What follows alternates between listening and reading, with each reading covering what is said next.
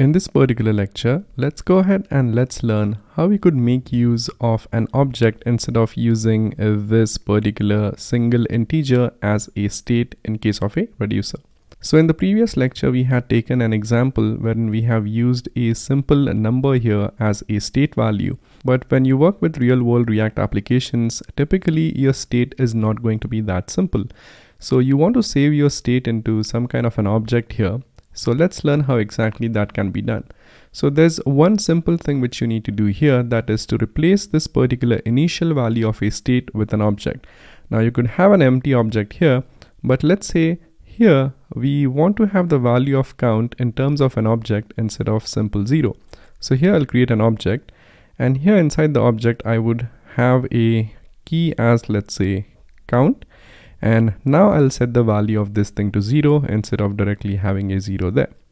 But now the problem is that once we have updated this value here, over here we cannot simply go ahead and update the value of state just by saying return state plus action.payload because this time our state is not just a simple number but instead it's an object. So here even before making any kind of changes here, I just want to show you how exactly we could update a complex piece of state like that, which is a JavaScript object. So in order to do that, I'll go ahead go into the local storage and you could ignore the warnings here because we have to make changes to the code. I'll clear up the console here and over here I'll just display how a particular state value is updated. So I'll artificially go ahead and create a state here. So I'll say const state equals and then over here let's imitate the same thing which is state is going to be an object.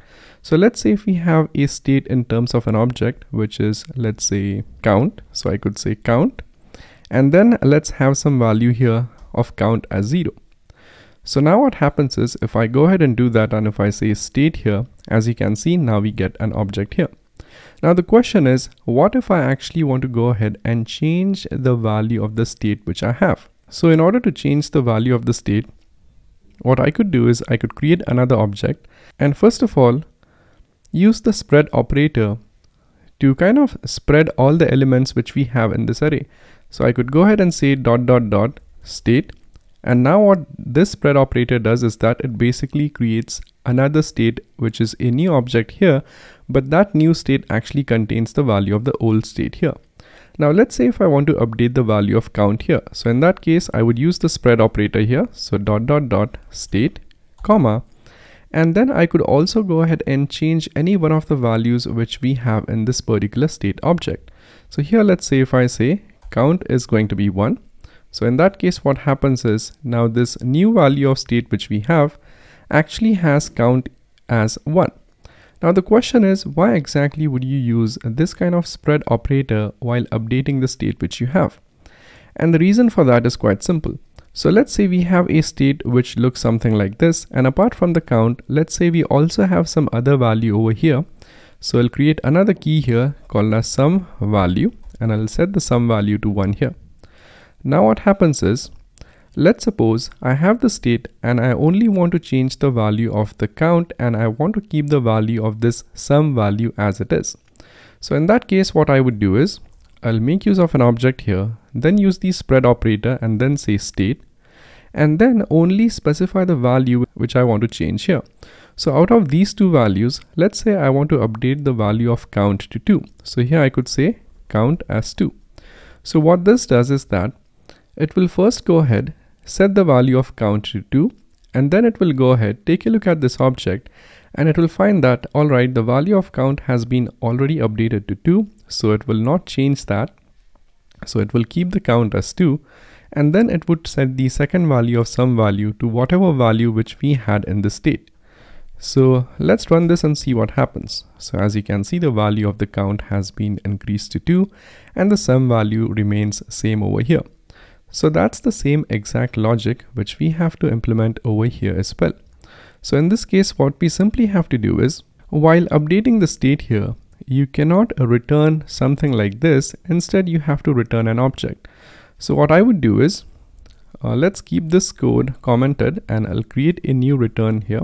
So we'll return an object because now our state is an object And what we do is we take whatever the existing value of state is using the spread operator. So dot dot dot state. And then I'll add a comma here just as we have done here. And then I want to say that, all right, I just want to update the value of the count which I have. So here I would say the value of count. So we have simply specified this key here. And the new value of count is going to be the old value of count plus the action dot payload. So here, in order to get the old value of count, which is this value here, I simply cannot go ahead and say count here, but instead I have to say state.count because that's what actually gives me access to the zero here. So once I have this, I simply have to now add the action.payload here. So action.payload and that's it. Now here, instead of simply returning state plus action.payload, what we are doing here is that we are returning an object and in that object First of all, we are actually making a shallow copy of the existing object so that if there are any other values here, they get copied here.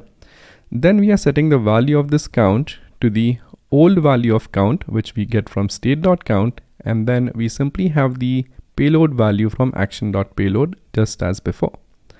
So now this will actually go ahead and change the value of state here. Now in case of decrement, what we simply have to do is we have to copy the same thing and just replace this plus with a minus and rest of the things remain the same. So now watch what happens if I go ahead and hit refresh. So here we are still getting an error which says object are not valid as React childs found with keys count. So that basically means somewhere in our code we are directly referencing count and I guess that place is over here. So over here, instead of just having state, I have to simply replace this with state.count as state is an object and you cannot directly render an object inside a React component.